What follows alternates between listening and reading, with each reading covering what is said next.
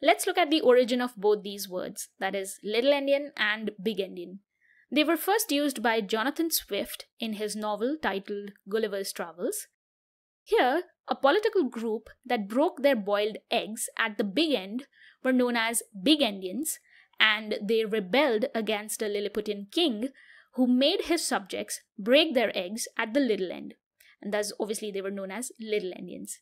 Completely meaningless squabble. But from there, these words found their way in an article titled On Holy Wars and a Plea for Peace, which was written by computer scientist Danny Cohen in 1980.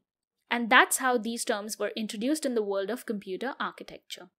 So that's it for today.